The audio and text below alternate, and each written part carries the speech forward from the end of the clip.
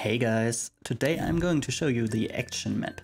So the action map is really just a couple of examples on how you could approach action-oriented items. The idea of this map is not to give you high polished assets, but examples on how we would approach those tasks. Here you can see I'm using the gun to shoot. We have a simple shooting mechanism, everything is lerping into the right position. And we have some very simple logic for, for giving you points if you shoot the targets. Here you can see the flashlight. The flashlight is an example of how you can trigger a light on and off. So very basic here. This is our vision.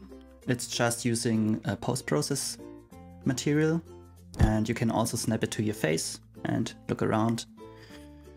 And in there you can basically define every post-process material you want to. We have integrated some examples and you can switch between them if you press the trigger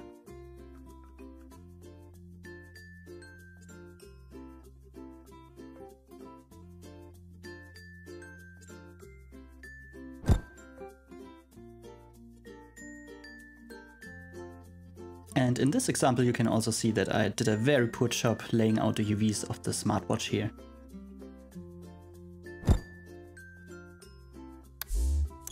So let's have a look at the bow. And also here, this is basically using the same component we use for draws and the snapping is our basic anchor system.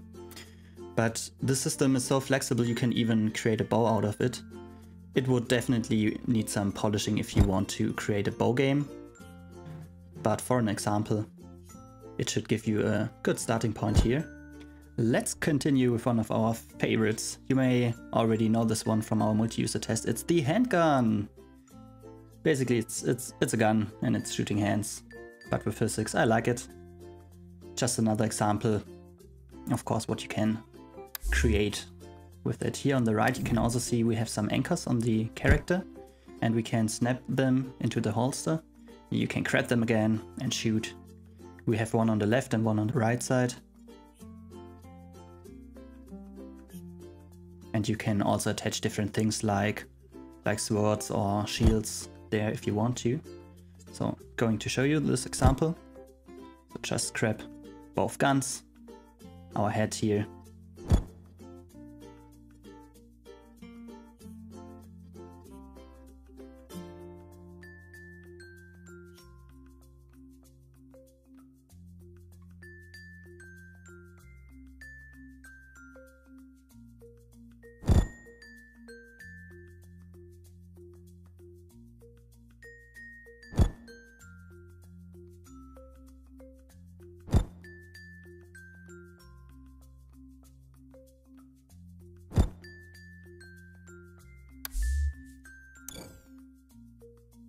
So the cigarette is also a very simple example. You can grab it, it will latch into the position.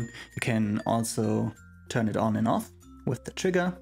So a very simple interface in there. We can snap it to our mouth. And this is just using our basic anchor system here. And of course we turn it off before putting it down. You know, safety reasons. And now we are going to slice some of the cubes. And here you can see that we can attach the very same, we can use the very same anchor to snap to the same position like the gun previously. And yeah, the, the slicing is also super, super simple here.